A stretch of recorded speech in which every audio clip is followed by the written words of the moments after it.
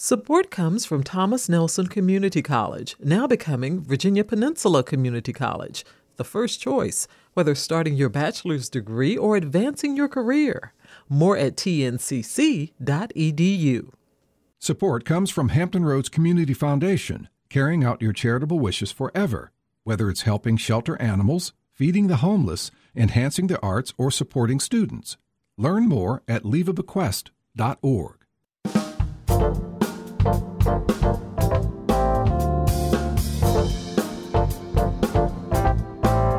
Hello, everyone. I'm Barbara Hamm Lee. Laura Murphy, a Fairfax County, Virginia mother, has been fighting since 2013 to have the book Beloved, written by Toni Morrison, banned from Fairfax County public school libraries and high school curriculum. This year, Virginia Beach School Board members Victoria Manning and Laura Hughes are demanding that another Toni Morrison book, The Bluest Eye, also be banned, along with five other books. Is the practice of book banning the way to achieve the goal of a fair and equitable educational experience for all children? That's our topic today on Another View, right after this news from NPR and WHRV News.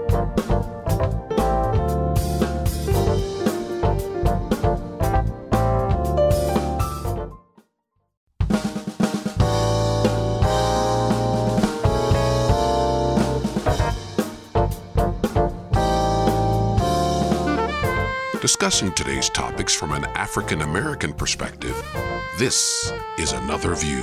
Good afternoon, everyone, and welcome to Another View. I'm Barbara Hamm Lee. On this Veterans Day, we here at Another View honor all veterans and their families. We are grateful for your sacrifice and for keeping our country and us safe, and we hope that you are having a wonderful day. So now on to our subject for today's Another View um, banning books in Virginia public schools, particularly in Fairfax County and Virginia Beach public schools. The books in question two books from Nobel laureate and Pulitzer Prize winning author Toni Morrison, Beloved and The Bluest Eye, along with A Lesson Before Dying by Ernest Gaines. Beyond Magenta Transgender Teens Speak Out by Susan Kuklin. Lawn Boy by Jonathan Ev- um, Evison, Genderqueer by Maia Kobabe, and Good Trouble Lessons from the Civil Rights Playbook by Christopher Noxon, who joins us here on Another View. Hi, Christopher. How are you? I'm great.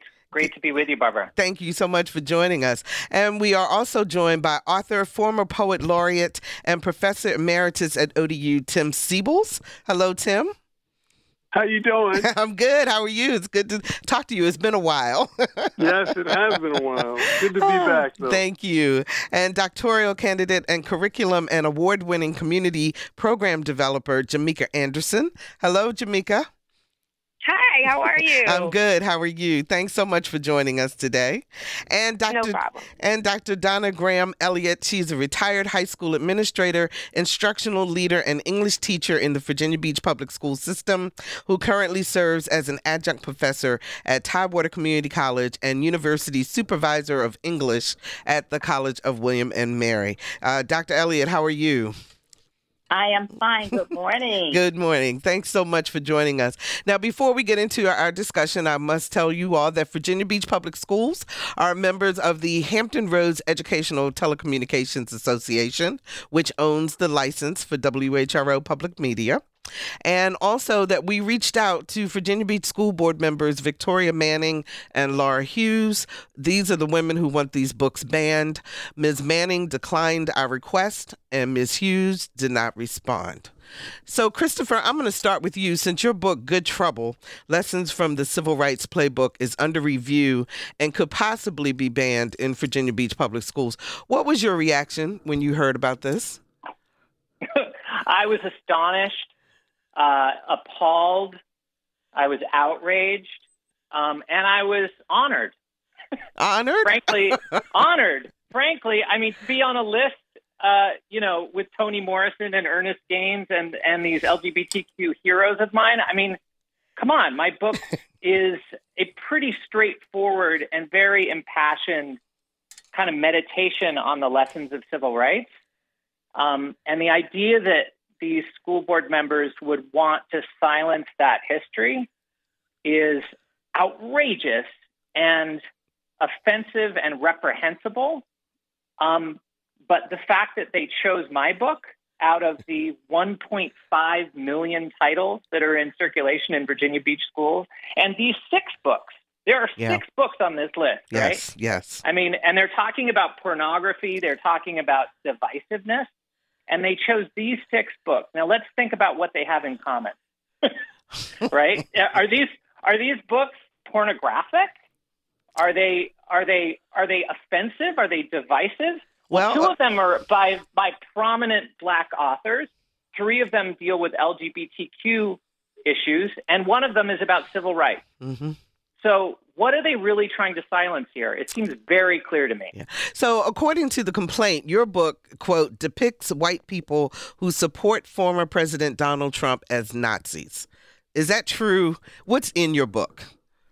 Okay, there's one illustration. I I still have not heard that directly from any school board member or from a parent. Mm-hmm. That complaint was in a, a pilot article that is hard to attribute where it came from.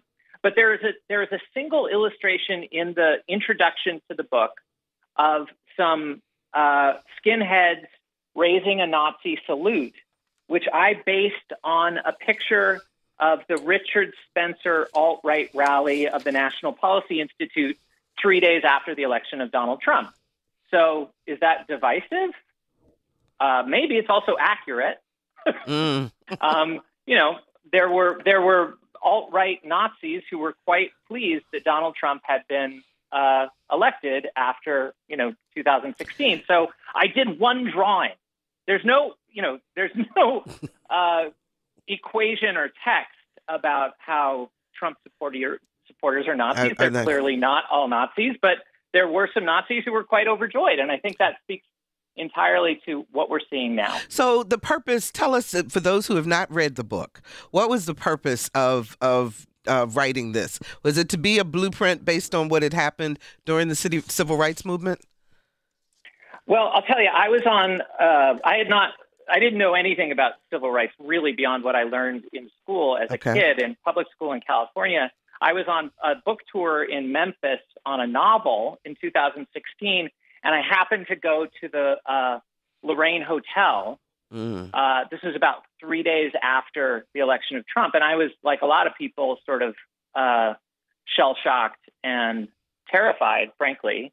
And in that moment, I kind of had, you know, a, I'm not exaggerating to say I, I had a revelation. hmm Um, I started weeping, standing there alone on the sidewalk in that spot, and realized for myself that you know the, all the lessons that I needed, all the direction, all the moral clarity, all the resolve, all the dignity that I was seeking was in this story. And Mm. so I set out as a journalist. I had worked, you know, as a journalist my whole life to go and talk to people who had been involved in the movement and to ask them just the simple question of what can we learn today? What what Ah. lessons from the movement can we apply right now? hmm Um, so I talked to John Lewis. I talked to uh, you know lots of people, foot soldiers, historians, and tried to uh, assemble a kind of current day primer on the the top level messages of the movement. Okay. All right. So, Tim, um, Toni Morrison died in 2019, and there's this desire now in Virginia to to um, to ban two of her books. So, Yeah. does this feel like uh, an erasure of her legacy? What's what's behind those two particular books? Well, I'm not sure exactly what what the uh, fear of those might be. At least, well, I should say this: it depends on what how people imagine education. Now, if educate if if by educating your children you mean making sure that they are not troubled by the realities of history, well, uh, then you could ban, you know, probably four fifths of the book again. But I'm not sure. I mean, Beloved has some very gripping moments and some, you know, very troubling scenes in it. But I mean, I think all the time about all the, for example, that we find on uh, video, um, video games, uh, Mhm. Grand Theft Auto, uh, this or that, World War Three. I'm thinking, so it can't just be violent imagery that troubles them, you know, because you know, unless their kids are also not allowed to play video games too. I'm just thinking, it, if if it isn't the the the imagery, because I can't imagine that these women who are trying to ban these books and the other people who feel simpatico with them, I can't imagine any movies or any TV shows that show graphic violence. That would be a real. So it seems to me what's most disturbing to these people who want to ban Toni Morrison, among other books, Mm-hmm. uh, uh, they they would as history is is what it sounds like to me. And yeah, if you don't want to deal with some of the grim realities of slavery, and of course you don't want to, to deal with white supremacy as a problem in American society, yeah, sure, ban every book you can by probably most every black author or author of color. Mm. And if you don't want to deal with sexuality and the complexities thereof, yeah, ban all the books by gay writers, poetry, essay, just ban them all. But my, my thinking is that we really do want our children to grow up with a kind of rich understanding of the complexities of life in a society. Mm. That's what that's what makes literature for me. Of course, Mhm. I'm a writer and of course a, a, a person who taught. It's a Hey Tim, we're Oh, going we're going to we're going to um, see if we can work on your line because you keep going in and Okay. out, and it's really important that people hear your point. So I'm All to I'm going to ask Dr. Elliott. Um, in the meantime, you served as an English instructor in the Virginia Beach Public Schools. You were an instructional um, um, did instructional work. What is your reaction to even the thought of removing books as opposed to giving people the freedom of choice? One of the first things I think about, especially when parents want to ban books, is whether or not they've actually read the entire book. You Mm. can find passages in any book that appear to be totally unethical or demoralizing. Mm-hmm. But the Virginia Beach school system, just like every school system, is supposed to have committees of people who, first of all, will recommend the book, the books get approved, and they follow the objectives of the state and the division.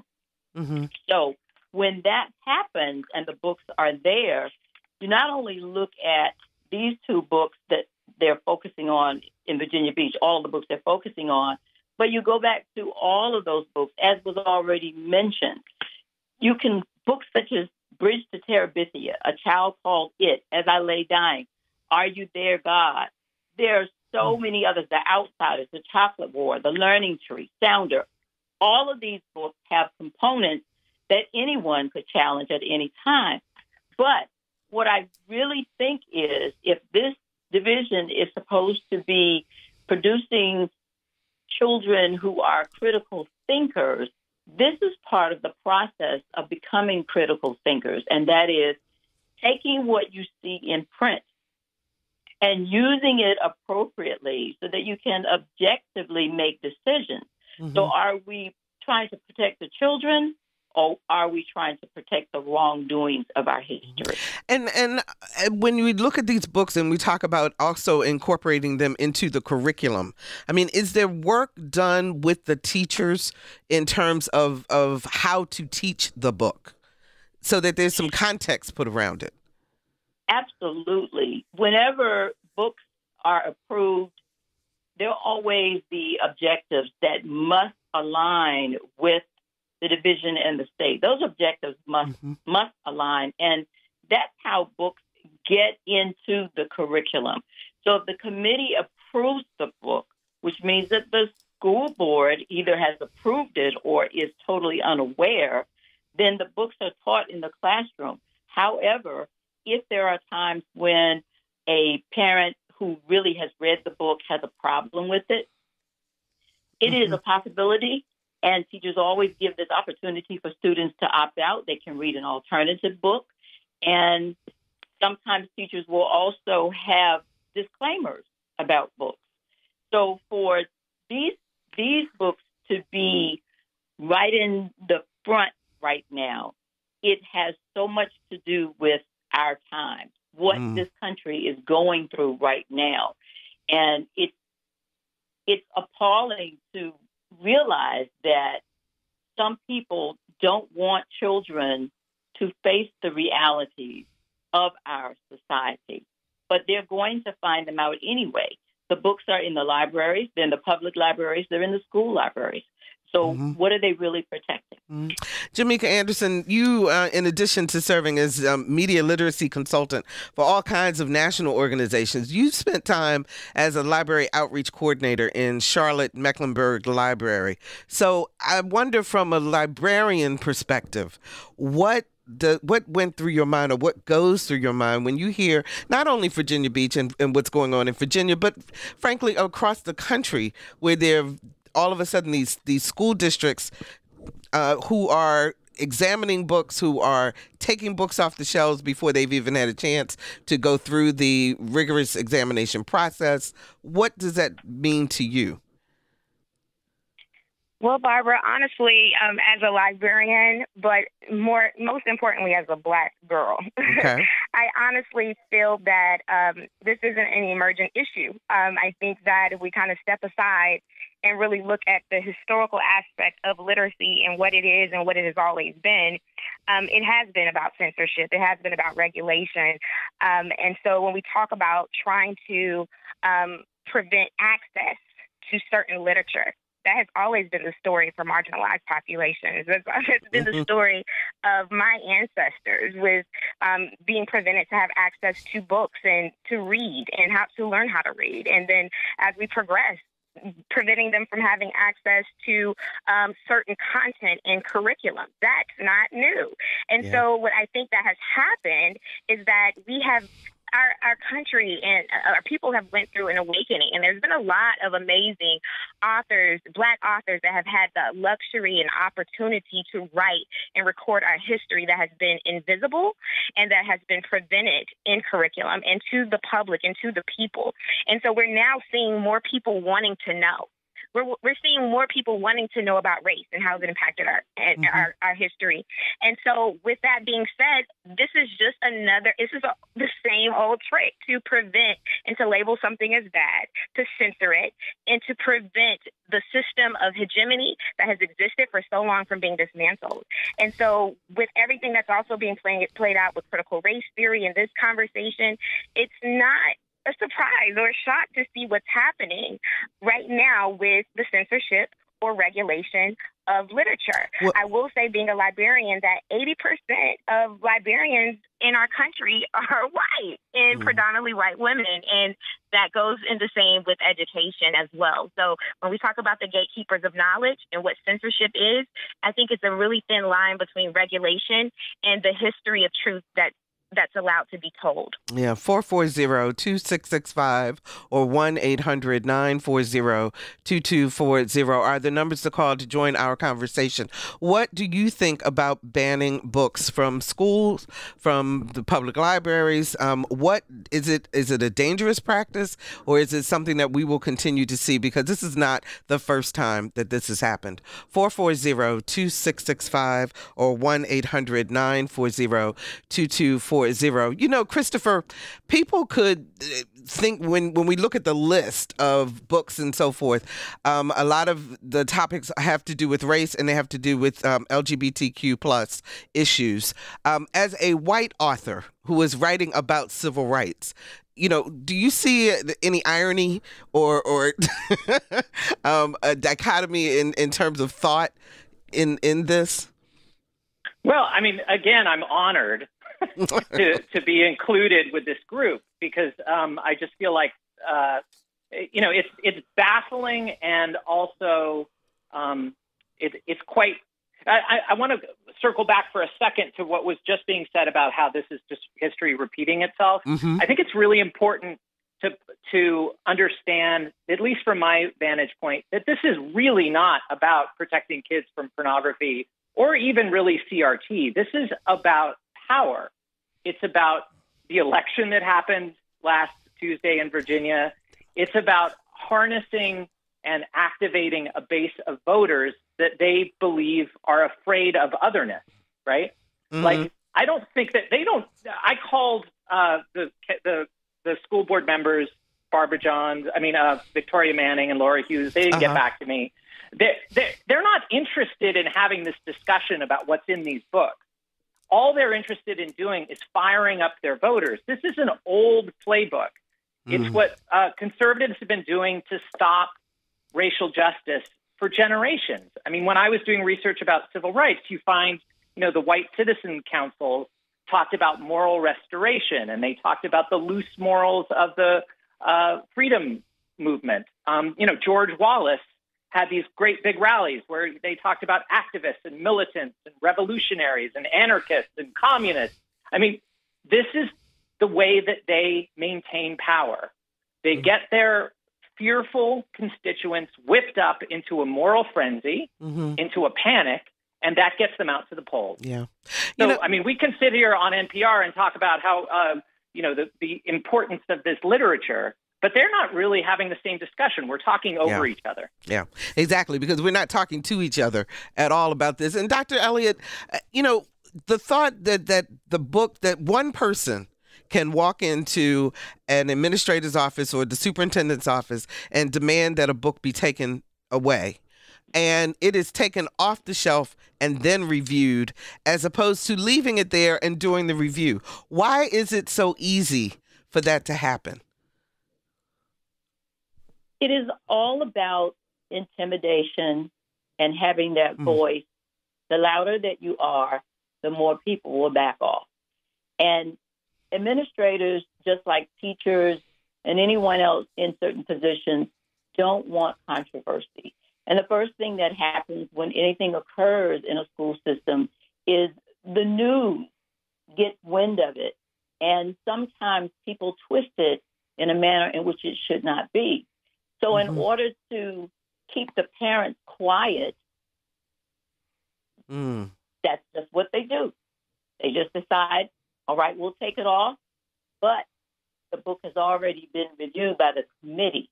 The objectives, again, before again, it ever, before it even ever yes. re, um, got on the shelf in the first place. Right. Hmm. So, Tim, why are we not getting outrage on the other side from this? I mean, it seems like it is so easy for those who say take it away to get, you know, heard and and and you know and and so forth. But I don't hear the outrage on the other side. Well, I mean, it depends, I guess, on the circles you're in. I think the media, at least up to this moment, certainly hasn't featured any of the outrage on the other side. But okay.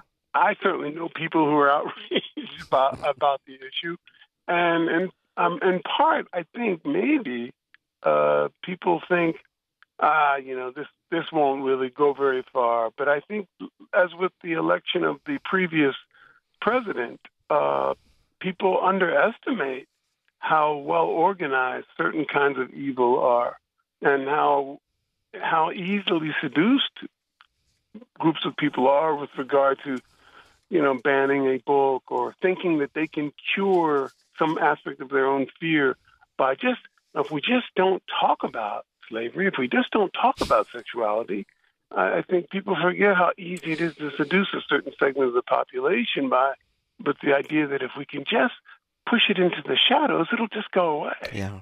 I mean, I think that's what makes it so tempting for the for the naysayers with regard to Toni Morrison and other authors. Uh, for the, those of us who believe that books are an important part of being a, a citizen in a society, well, you just it's it's kind of shocking, as your other guest was, was talking about. You're kind of shocked that, first of all, people are still talking about banning books. You like to think that that would be relegated to some some other place or some other time. Mm. But of course, we we have elements in this society that are are terrified of certain ideas becoming part of the of the conversation and the culture. Th- those ideas are going to get there regardless. In my heart of hearts, I believe this. But these people will do what they can to delay a certain kind of uh, understanding about certain issues. If you're just joining us, we're talking about banning books in Virginia public schools with Christopher Noxon, author of Good Trouble Lessons from the Civil Rights Playbook, a proposed book to be banned. Author, former poet laureate, and professor emeritus at ODU, Tim Seibles. Uh, doctoral candidate and curriculum and award winning community program developer, uh, Jimmeka Anderson. And Dr. Donna Graham Elliott, a retired high school administrator, instructional leader, and English teacher in the Virginia Beach public school system, who currently serves as an adjunct professor at Tidewater Community College and university supervisor of English at the College of William and Mary. 440-2665 or 1-800-940-2240 are the numbers to call to talk about whether or not books should be banned from our public schools. And these particular six books that we're talking about, The Bluest Eye by Toni Morrison, A Lesson Before Dying by Ernest Gaines, Beyond Magenta Transgender Teens Speak Out by Susan Kuklin, Lawn Boy by Jonathan Evison, Evison excuse me, Genderqueer by Maia Kobabe, and uh, Good Trouble, Lessons from a Civil Rights Playbook by Christopher Noxon. 440-2665 or 1-800-940-2240. Christopher, how has your book done since the proposed banning? Well, I mean, I, I don't know uh, sales numbers or anything like that. My, okay. my publisher doesn't really doesn't really share that sort of real time info. I know that I've been getting a, a ton of messages, um, and it's I, I think it's kind of hilarious how how congr- congratulatory all the messages I'm getting are. I mean, you know, you'd think that being banned, people are like Mazel Tov, Christopher, you, you know, there's nothing better for an author to be banned. And it's just sort of ironic. And I, I do think it's worth pointing out that, like, of course, this is outrageous. It's awful. And also, I am feigning outrage, right? Mm. Like there, there's a there's a kind of impulse within the culture for everybody to. I, I don't think Victoria Manning and Laura Hughes are really outraged about these books. Mm-hmm. I don't think that it, when they go home at night, they're not talking about these horrible pornographic divisive books. What they're doing is they're trying to maintain power. And I'm sitting here talking about how outrageous this ban is. And of course, my book is benefiting from it. Yeah. So I just want to sort of call attention to the fact that there's a lot of theater here. There's a lot of people saying things that they don't actually mean. Um, so I'm, you know, frankly, I'm hoping I get banned in more school districts so I can go and talk to kids about civil rights, which is the whole point of my book. you know, this everybody's everybody's using this to advance their own agenda. Right, right. Tim, how much does this have to do with this whole narrative of, which, as far as I'm concerned, is a false narrative of critical race theory? Well, I mean, I think with regard to Toni Morrison's book in particular, mm-hmm. uh, she did not pull any punches with regard to how uh, white supremacy enacted itself both uh, during the time of slavery and since. And so I think a lot of people, I mean, this is not new, uh, as your other guests have said, this is not a new thing. People just don't want to look in the mirror sometimes. And I think white culture, at least in, in, in America certainly, struggles to look in the mirror with regard to who have we been, who are we now, and I think these books, particularly Morrison's books, where race is concerned, and, and my and the, the, other gentleman's civil rights book, mm-hmm. I mean they they pose kind of inescapable questions about what has it what has whiteness meant and what has whiteness done to those of us who cannot claim whiteness, right? And I think people are very uncomfortable when they look in the mirror and see something, in some respects, terrible. And I think that's the that's the real story that we're dealing with. Mm-hmm. People just don't want to. They don't. It's like it's like a family secret, right? We all know that that you know their Uncle Bob was you know a little strange, so we just don't bring Uncle Bob up. As long as we don't talk this, about it, right? But but in this in this case, it's an entire society, not entirely, but many many folks mm-hmm. who would just rather not talk about the Uncle Bob white supremacist in the closet. they don't want to talk about Uncle Bob, which is a problem. So, Jimmeka, why not? Why not just have, you know, I guess the question is what makes it okay for one person or one group of people to try to decide the education of the mass group. In other words, it's it's fine if you don't want your child to read a certain book within your your household, but why do you get to decide what my household does? Jimmeka? Uh oh, did we I'm lose so you? sorry. Oh. No, no, I'm here. Okay. I was on mute. My my apologies. I, but I'm sorry you you missed my laugh because that's a great question. Um, wh- is it okay? No. Why does some people feel it is okay? Because that's the way it always has been. Um, Mhm. Everything about education in the United States, United States, has been centered on Eurocentric ideology. What we read, what we learn, if you are not white, who you are, every and everything that we're taught has been based on the conformity of what they have set as the standard. There's a quote that says, "If you control the word." You can control the world. And so, when you have always had the power to control the narrative, a narrative that has always been, that has never been banned, has Mhm. always been accepted to say that, you know, um, Native Americans are bad and violent, and African Americans or Black people are barbaric and animalistic and criminals, or LGBTQ people are predators. Those Right. those narratives have historically been okay and never questioned and never banned. And those that have been subjugated by them, that have been oppressed by them, we have been able to do nothing but accept it and try our hardest to fight to create new narratives. But they have had the power to create that narrative. So anything now that is produced that shows how those oppressive narratives that should have been made have impacted us, has inflicted trauma on our parents, our ancestors, and then has also inflicted trauma on the children from their adults, their parents that have experienced that trauma, and now us as adults. We Mhm. tell our stories, it's bad. So Yeah. then it questions, what is bad? Is it you saying something is bad, or is it really beyond the language, but the actions? That have happened historically that you're preventing, that you're trying to make invisible. So they have always controlled the narrative. White supremacy has controlled the word, has controlled the narrative, and that's why they feel that they should still be able to control and regulate that narrative. And it sounds like though that there may be some younger parents out there who may see this a little bit differently. What do you think?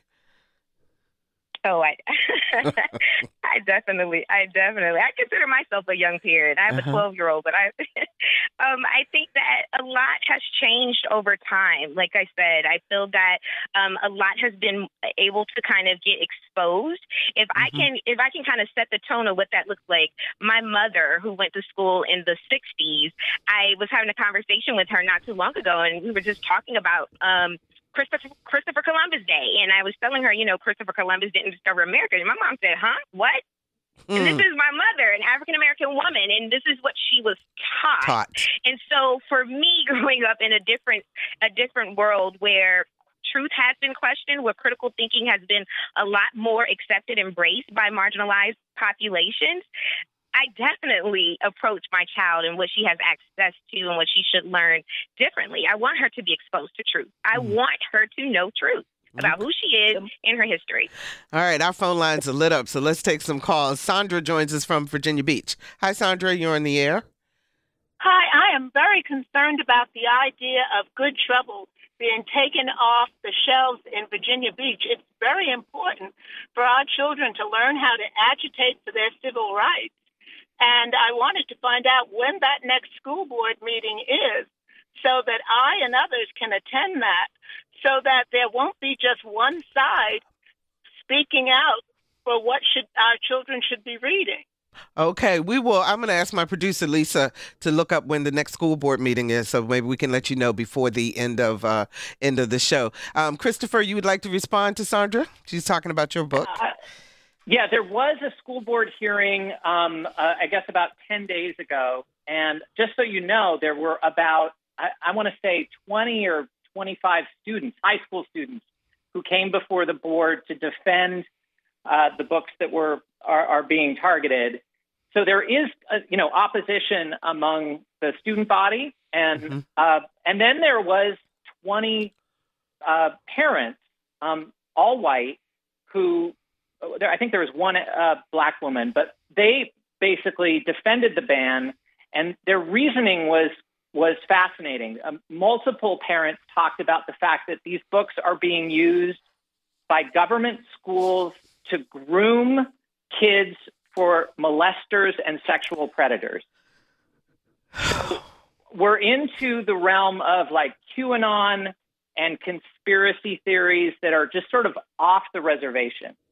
Um, so, you know, we're not talking about a kind of rational uh, debate about literature here. We're talking about some sort of fringe. Um, you know, when I was researching this issue, it all the books on this list, on the Virginia Beach list, mm-hmm. started in Texas. And what happened was there was a, a, mom who came before a school board meeting there and read passages from the book Lawn Boy. Mm-hmm. Um, and somebody got it on video and it went viral on TikTok of this Texas mom reading about, you know, a, a sexually explicit scene between two nine year old boys. Uh, and of course, you know, he, the author of that book, then got targeted by um, QAnon folks and told that he was part of this sort of pedophilic ring. Um, mm. And, you know, clearly this is a political tactic that's working for conservatives. And they brought it to Virginia so that they could win the governor's race. They're going to do it next year in the midterms. This is this is a political play.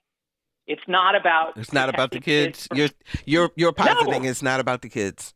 Yeah. It's not about the kids. It's about politics and power. Okay. Let's go to Philip in Norfolk. Hi, Philip. You're on the air. Hi, Barbara. How are you today? I'm good. How are you?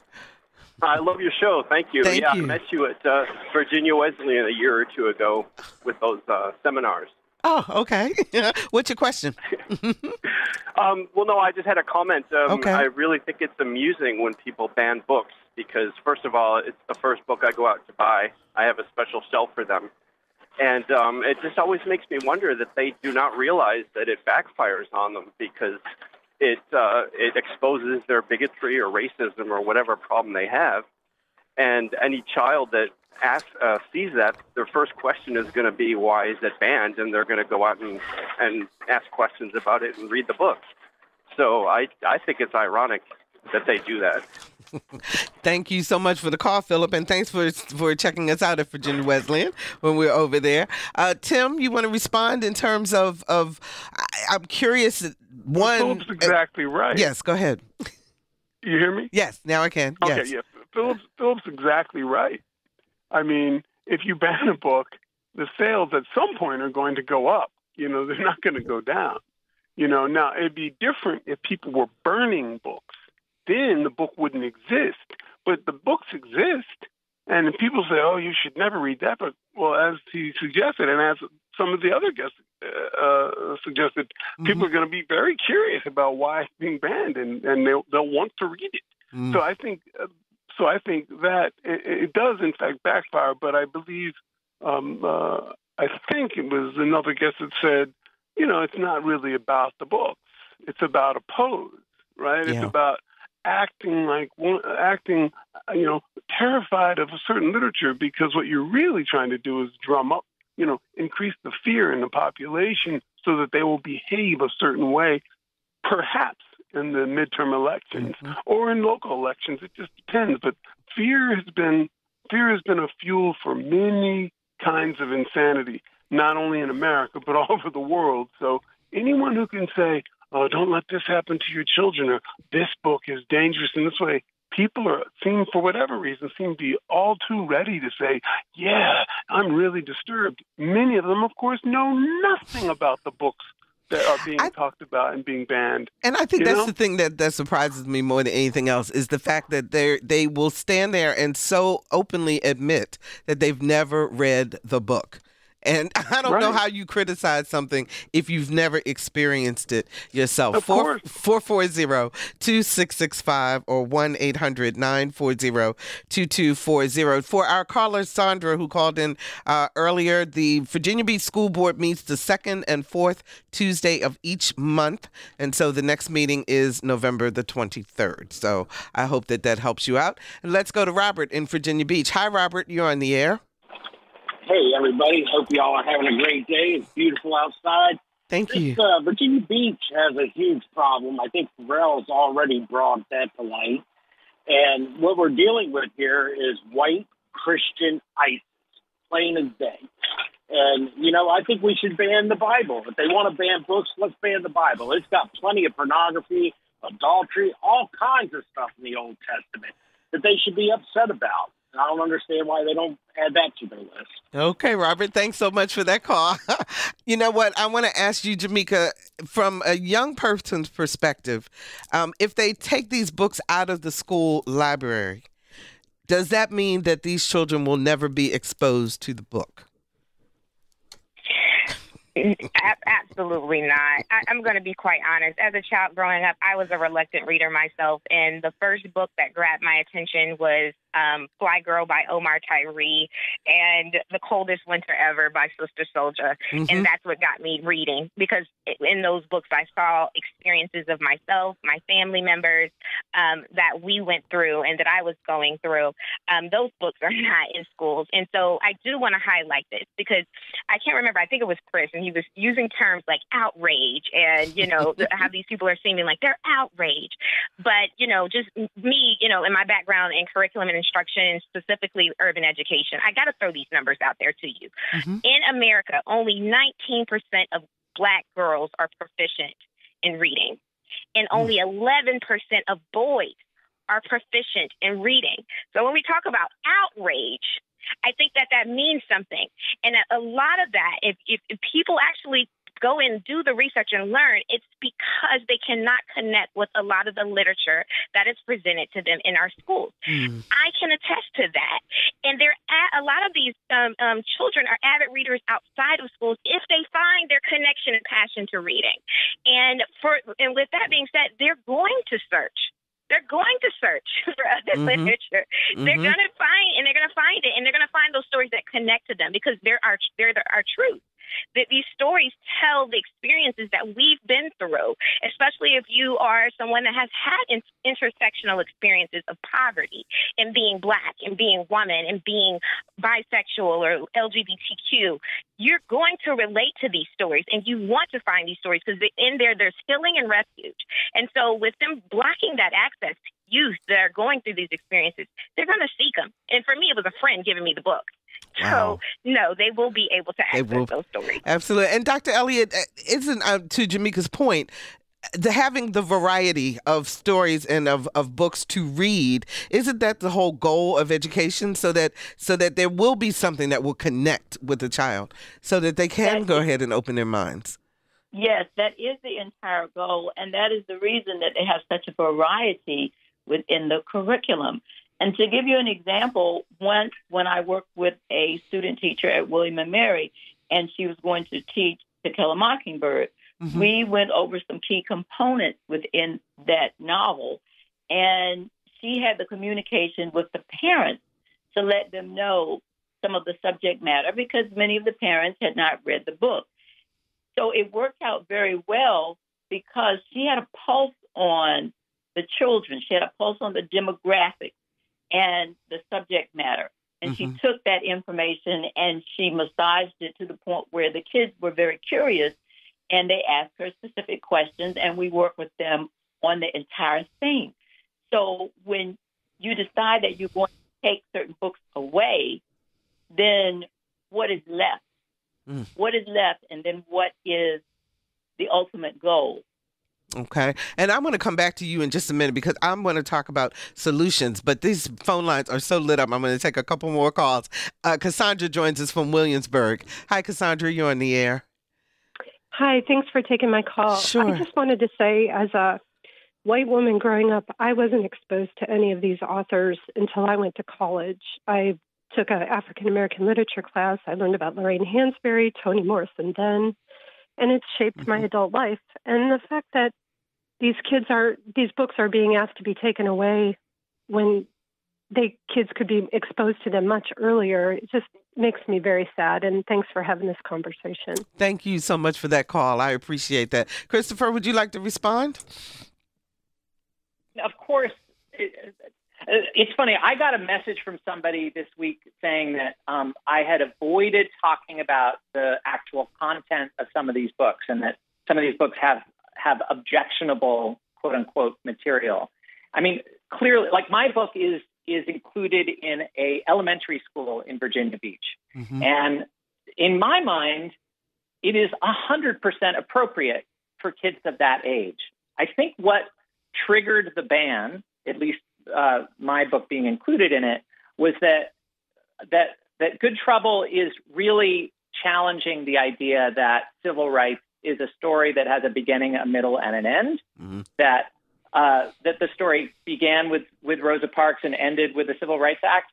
Mm-hmm. I, I I learned through writing it and through talking to people that civil rights is as old as this country and older, mm-hmm. and and broader than this country and as current as today's news. That the the whole idea of of civil rights is that we need to constantly be vigilant about protecting yeah. uh, human dignity. And there are assaults on that human dignity all the time, and this ban is one of those assaults. Yes. Let's talk to Anita in Chesapeake. Hi, Anita. You're in the air. Thanks for taking my call. This is such a great subject, and yet it's a very sad subject. I hate to think that they will take these books out of school. However, Virginia Beach is a very prejudiced area. This is why we don't have light rail going there. This is their last breath.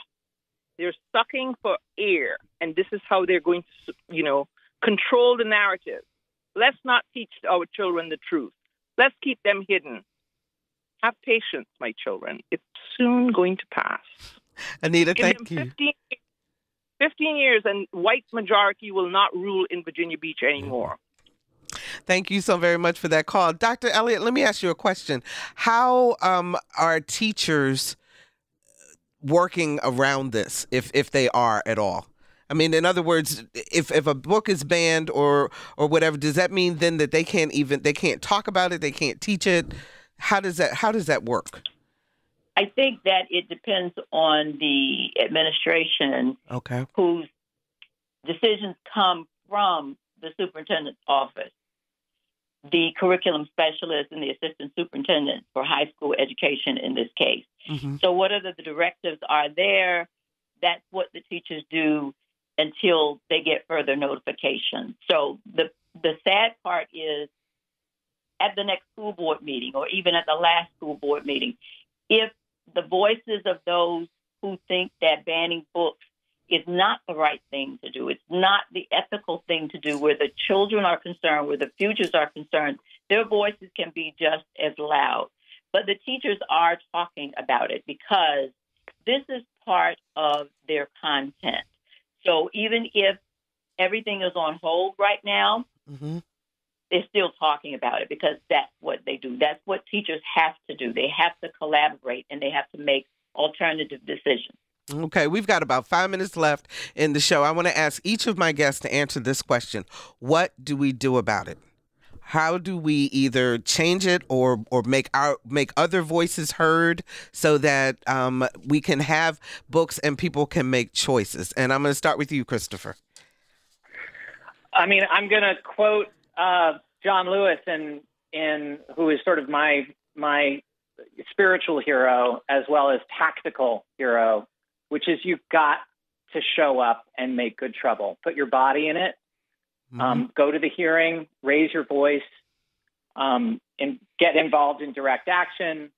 Put pressure on these leaders so they know that this is unacceptable and it will not stand. Okay, that is Christopher Noxon. He is author of Good Trouble Lessons from the Civil Rights Playbook, which is one of the books, proposed books, to be banned in Virginia Beach Public Schools. Christopher, thank you so much for joining us on the show today. We really appreciate it. And My pleasure. Thanks. Take care. Uh, Tim, I'm coming to you next. Tim Seibles. yeah, well, I, I, I, I completely agree with Christopher about direct action, of course. And mm-hmm. uh, a new book just came out, um, sponsored by the New York Times, the 1619 Project. Mm-hmm. Are you mm-hmm. aware of this book? Yes. Anyway, I've just ordered a couple of copies to give to friends of mine who teach uh, high in high schools because they, you know, I think it's a really important book, and whether or not they can use it for the class or not, I do not know. But but it'll certainly give them a, a, a a broader foundation from which to discuss things like civil rights and race in this country. Other than that, of course, you know, vote. You know, that's one way to, to combat this kind of idiocy, but also persist. I mean, you know, well, we're all going to be in conversations with, with peers and stuff. Bring it up, talk about it. What do you think about this ban? Most of the friends I've talked to think it's absurd, and and and and of course I agree with them. So I don't think this kind of uh, approach to, to education or banning education is going to hold. So I feel, as I said, I feel confident. Thank you, Tim Seibles. He is author, former poet laureate, and um, professor emeritus at Old Dominion University, and a good friend of Another View. Thanks, Tim, so much for All being right. with us today. We appreciate it. Okay, Jimmeka, what do we do? I agree with everything my panel, my fellow panel mates just shared. Um, take action, but you know, I'm I'm a community organizer, so I'm going to say even if they ban the books, they can't stop us from reading. From reading. So if you're an adult out there, form form book clubs We kids. You know, bring these books up, bring conversations to the table, help them unpack the issues and challenges that are happening in our world, our realities. Talk about it. Um, encourage others to read some of the, some of the literature and educate themselves. They can ban the books, but they can't stop us from reading. Thank you so very, very much. That is Jimmeka Anderson. She is a doctoral candidate and curriculum and award winning community program developer out of North Carolina. Thank you very much for joining us today, Jimmeka. And Dr. Donna Elliott, you have the final word. What do we do? We use our voices. I am always telling my students use your voice because it is important. For every example that is opposed, find three examples in the book that show why we should support it. Hmm. Absolutely. And and how about this also? Should they actually people before they start to criticize actually read the book? Definitely. that is number 1. I tell you, that is that is the thing that just amazes me more than anything else. That's Dr. Donna Graham Elliott. She's a retired high school administrator, instructional leader, and English teacher in the Virginia Beach public school system, um, who currently serves as adjunct professor at Tidewater Community College and the university supervisor of English at the College of William and Mary. I really appreciate all of you being with us today. And Todd, do we have some music? Can we go to a quick break? And we'll be right back.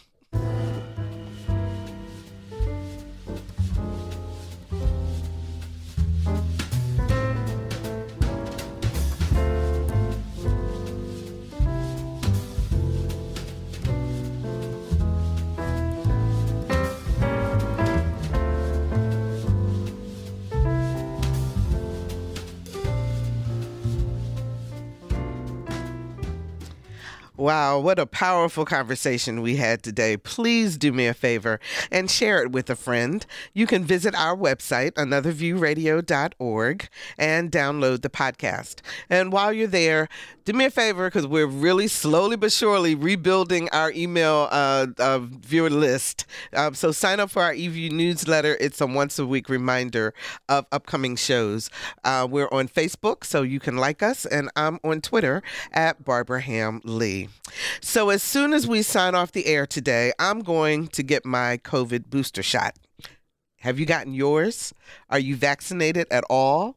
The holidays are upon us and folks want to get together, so do your part everybody, let's get vaccinated and let's keep yourself and your relatives and families very safe. Our theme music is an original composition created especially for Another View by Jay Sennett. Lisa Godley is our show producer. Todd Washburn is our audio engineer, and Dr. Barry Graham answered our phones. I'm Barbara Hamm Lee. Thank you so very much for listening, and we'll get together again next Thursday at noon for Another View. Bye.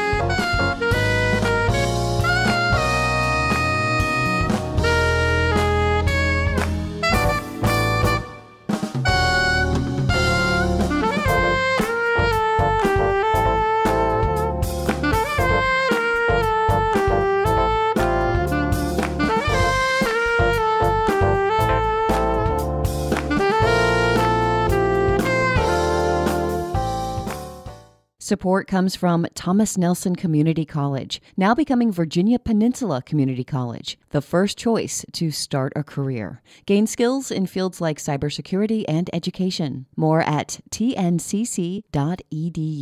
Support comes from Hampton Roads Community Foundation, partnering with donors from all walks of life to improve southeastern Virginia through grants, scholarships, and leadership initiatives. Learn more at hamptonroadscf.org.